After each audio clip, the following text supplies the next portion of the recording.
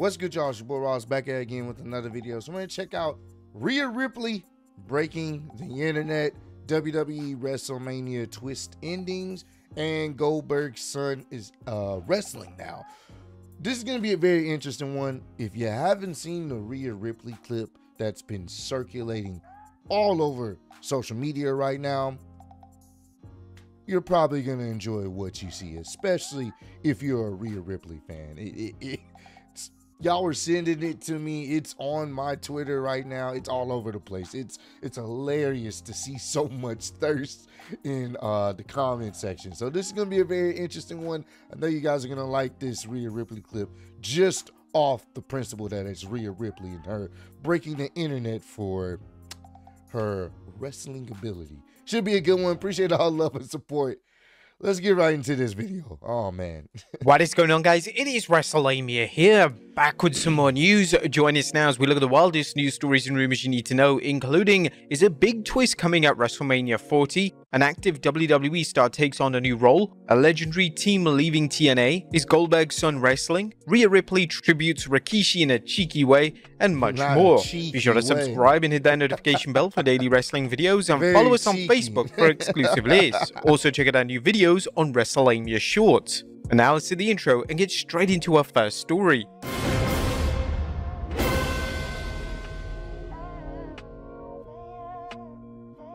Our first we looks at could there be a big twist at WrestleMania 40? On top of today's news is an interesting comment from Rikishi who shared his perfect outcome for the Jimmy vs. Jay showdown at WrestleMania 40 in two weeks. Speaking on his podcast, the father of Jimmy and Jay stated that the highly anticipated showdown should finish with both men rejoicing and actually rekindling their relationship. I could only pray for our father they go out there, perform and be able to walk out there and walk back. Would love to see them walk back together. I would love to see my boys at WrestleMania 40 walk back together holding hands so that story can close. Whilst it's incredibly wholesome that Rikishi sees this as the perfect finish, this isn't far off from what many fans have been pitching on social media. Seeing the Usos embrace following the match would receive an earth-shattering ovation, the yeah. Usos reforming on the grandest stage would also add an extra layer of intrigue and interest to the Roman Reigns versus Cody Rhodes Night 2 main yes. event. Whilst Rikishi seems incredibly excited for the Uso versus Uso match, he does have some concerns. Rikishi's concern mainly comes down to time constraints, and he hopes that WWE mm -hmm. give the mm-hmm. match efficient time on the card. I'm hoping that they don't mess with the boys' time because everybody tries to get in. If you're on before me and you know you got 10 minutes and this is the biggest show on the earth and your ass got to go out there and go 13 minutes, now you're plugged into my 3 minutes. Hmm. Rikishi may have reason to be concerned as there's been a trend in past WrestleMania events that matches have been cut for time. Yeah. Thankfully, due to WrestleMania now being a two-night event, WWE should be able to time the show more efficiently, so every match on the card should be given enough time. Do you think there should be a big twist and the Usos actually reform back together at WrestleMania 40? Let us know in the comments down below. Next up, I'm okay with that. The only way that I think storyline wise you do that, you would have Jay lose. You would have Jay lose. Because Jay, in my opinion, I feel like he can take a loss. I feel like Jay Uso can take a loss in this particular situation if you're going to have them come back together I would have Jay lose and Jimmy, you know, he, you know, he's he's excited and all this other stuff, but he sees his brother on the mat and he picks him up. You know what I'm saying? I would have Jimmy win the match because Jimmy could use a win. He's been treated as a JAG, as a joke for a while. Jimmy could use that win. If you're going to have them come together, then Jimmy wins. If you don't, then you would have Jay win. And then Jimmy gets kicked out the bloodline. I mean, you can have him get kicked out the bloodline regardless if he aligns himself with Jay, but it's different now. It's a different context behind it. So I would I like that idea. I just would have Jimmy win the match because Jimmy can take that win. He needs a win like that. And then have them come together. And then you can, you know, create a storyline with what Roman's gonna say about this. So I think that would be pretty interesting. An active WWE star takes on new role. A wrestler's becoming producers or agents is traditionally a role that wrestlers take on upon retirement. However, this isn't the case when it comes to Pete Dunne, who worked this week this. as a producer for the WWE Speed tapings. This report comes from Fightful Select who reported WWE Speed is still putting matches in the can for their eventual debut, and there's an interesting note on the March 22nd tapings. Longtime WWE talent Pete Dunne was listed internally as a producer for both Speed matches. He was also listed solo and without co-producer. We're not seeing his name pop up on many lists lately. The 30-year-old is still active in the ring as a member of the New Catch Republic. We'll look into this and see if he's planned to produce more or if That's it's an cool. experiment with a new program. This new role for Dunne is a huge nod of approval from Triple H. The game has always been a big fan of Dunne, and for Triple H to give a wrestler that is younger than most of the roster, this is a huge sign that Triple H sees him taking on more responsibility moving forward. Next up, who should which is dope, man. I love to see that because people don't realize sometimes it's not about what you do on camera. Sometimes it's what you do behind the scenes that can definitely help uh help your stock rise within the company as well. So I love to see that, man. Shout out to P Dunne. Should induct Paul Heyman into the Hall of Fame. Paul Heyman will take his rightful place in the WWE Hall of Fame in two weeks, and there have been rampant discussions amongst fans surrounding who will induct Heyman. Heyman's associate Roman Reigns discussed Heyman's upcoming induction during an appearance on the Pat McAfee show, and Reigns stated that the individual who inducts Heyman needs to be authentic. Whoever does it, they need to be authentic. They need to tell their story of Paul. There's going to be a lot of facts in history that you can lay down with the wise man, all the way from the beginnings with a giant phone to being the advocate to mm-hmm. being my special counsel. Whoever does it just needs to be themselves and tell the truth. Numerous names have been thrown around to induct Heyman, ranging from Reigns to CM Punk. Ultimately, Reigns is right. Whoever delivers the important induction speech needs to deliver it with authenticity. Who do you think mm-hmm. should induct Heyman into the Hall of Fame? Let us know in the comments down below. It would have been most likely probably probably Brock. Granted, I don't know how comfortable. I mean, he's gotten a lot more comfortable on talking on the microphone. It probably would have been Brock, to be honest with you. But obviously, we know what's going on with that situation. So I don't know. It would be interesting if it was CM Punk. I like that. I think that would be interesting. But I don't know. Y'all, y'all let me know down below. Who do y'all think would be the right person to induct Paul Heyman into the Hall of Fame?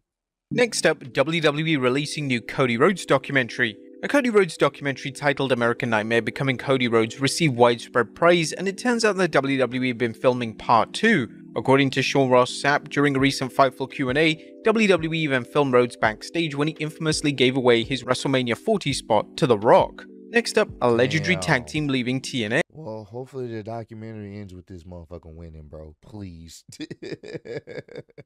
Hey, the Motor City Machine Guns are arguably the most decorated tag team in TNA history, but unfortunately it looks like their run in the company has come to an end. According to PW Insider, Saturday night's taping in Philadelphia marked the final TNA performance of Alex Shelley and Chris Sabin. PW Insider also states that TNA held an emotional backstage send-off for the celebrated duo, whose contracts are up on April 1st. Oh, wow. It's unknown what the duo have planned for the future, yet it was reported that Shelley filed to trademark the Motor City Machine Guns name, which heavily implies that the two are looking to continue wrestling in Yeah. another promotion. Next up is Goldberg's son wrestling. And most WWE fans know Goldberg's son Gage for his numerous appearances in the company, mm-hmm. most notably at the 2016 Survivor Series and SummerSlam in 2021. In a recent interview, the Hall of Famer discussed whether he wants Gage to enter the squared circle. Speaking on the Nothing Left Unsaid podcast, Goldberg had a firm stance on the matter and he states that he hopes that Gage has no interest in becoming a wrestler. I sure hope not. If there is wrestling in his future, I have to be his agent. Nobody's gonna like that.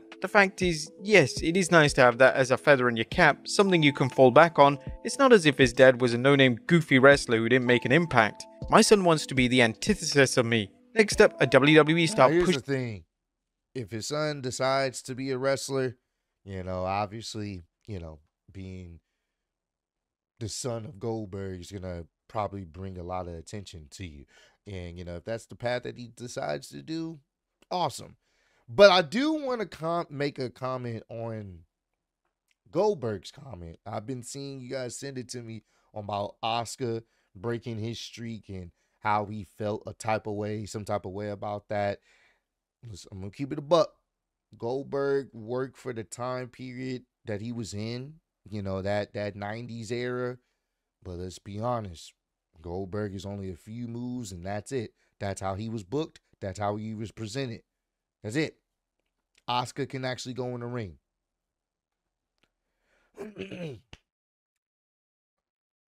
I don't I don't even see why he would even feel some type of way because this she's legit. She can go in the ring. There's nothing wrong with you know his record being broken. And I think he felt some. I think he was taking it as if WWE was trying to, you know, was trying to mess with him, trying to you know irritate him or whatever. I'm like, bro, come on, man. And then I think he had said something about everyone's using the spear, like it was like personal jab. Everybody, people been using the spears for a long time. What are we talking about? I don't know. I don't know. If his son decides to wrestle, I hope he doesn't have that huge ego like his dad does, because that that could be detrimental to his future, man. So pushing for WrestleMania main event. Whilst the two respective WrestleMania main events are locked in, this isn't stopping Royal Rumble winner Bayley from vocalizing that she still firmly believes that a match versus Iyo Sky warrants the WrestleMania main event. Bayley is also of the belief that the Rhea Ripley versus Becky Lynch match is strong enough to main event night 1, whilst her match versus Sky warrants the prestigious night 2 spot. Speaking with Alex McCarthy from Mail Online, Bayley stated, This year is mine and Iyo's year. This year has been the role model's year, starting the Royal Rumble, okay? And I've been doing this for a long time, and I've been fighting for this for a long time. Becky's at a main event spot, so it's time for the role model, Ding Dong Hello Bayley, to take this main event spot. You guys can have the first night, and I'll take the second night. You know, we can do that. You never had two women main event both shows at WrestleMania. Why can't it be this year? It's certainly understandable why the tag team match is main eventing night one. Come After on, all, it's unlikely that a match with The Rock would be Come in on. any other position on the card. Nevertheless, it's somewhat of a shame that Bayley vs Sky isn't being placed in a main event slot, as the build up to the championship showdown has been superb, and both women have been delivering some of their finest work. What do you think? Should Bayley main event either night one or night two? Let us know in the comments down below. Next up. Yes. If The Rock wasn't involved, yes. Well, I made a video about this. Sure. Yes. But most likely, now that the Rockets are going to be involved in both nights, no. Her saying that both the women should main event both nights in a perfect world, possibly, but we're not living in a perfect world. The Rock is literally going to be there for both nights. This tag match is literally one of the biggest tag matches of all time. I'm sorry. I and I love Bayley and I, I agree with her. The story has been there. But if The Rock wasn't involved, she probably would main event night one. And I don't think anyone would have a problem with that. But because The Rock is involved, and this is her opinion, of course, she's to feel this way, and she has every right to. So I'm not disagreeing with her. But the whole part of both women matches main event, that wasn't to happen. Roman, I mean, come on, bro. Roman and Cody, too. That, yeah, that was to, that was definitely to happen again. Roman's always to main event night, too. I'm sorry.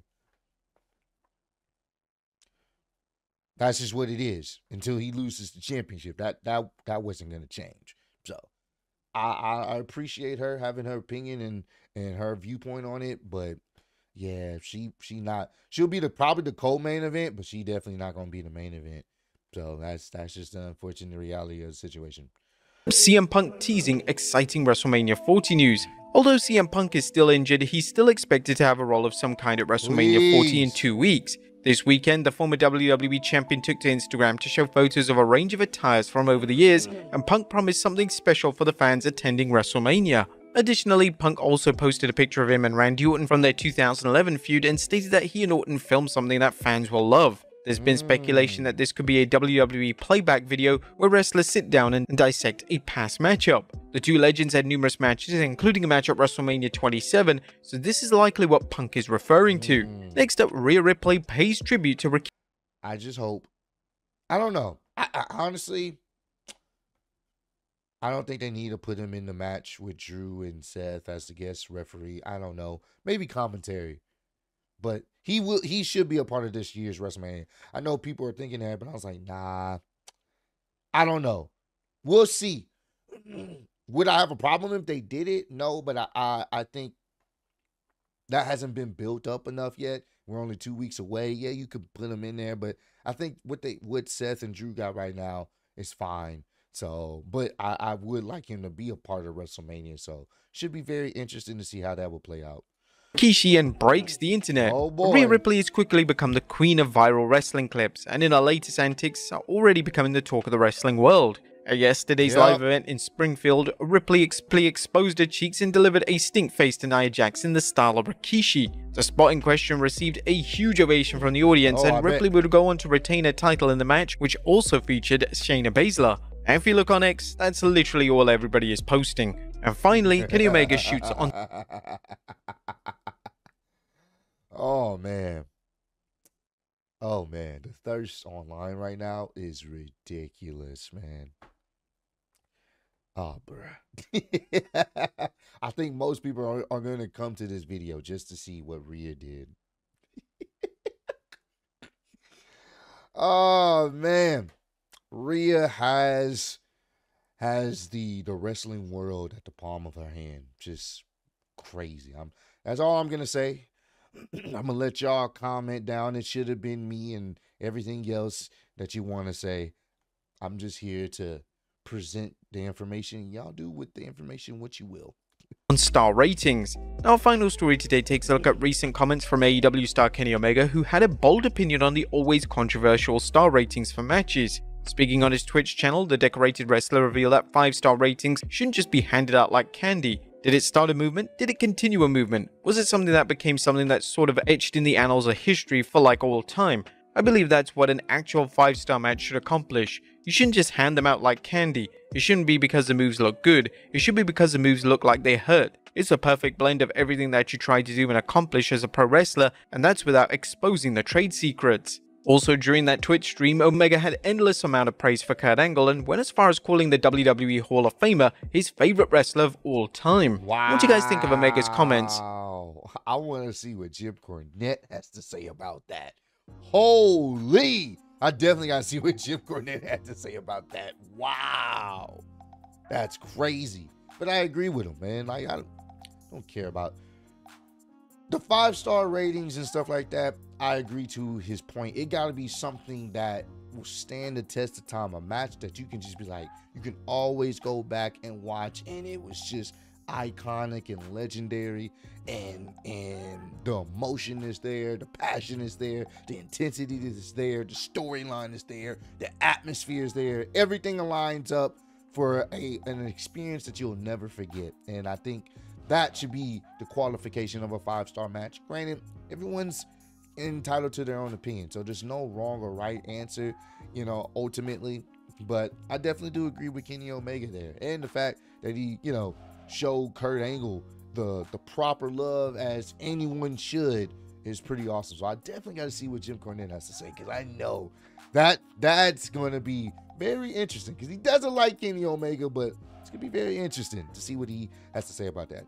But comment down below. Let me know how many of y'all enjoyed that Rhea Ripley clip. Just be honest. Just let me know. I know. I know all of you did. Most of you did. Maybe not all of you. Maybe some of y'all have self-control, but most of you, most of you watched that clip multiple times, huh? I, it's okay. It's okay, man. I'm not gonna. I'm not here to judge you. Do your thing. But I appreciate how I love sport. Road to 150k, and I'm still against YouTube wrestling champ of the world. Appreciate y'all kicking with me. See y'all next one. Peace.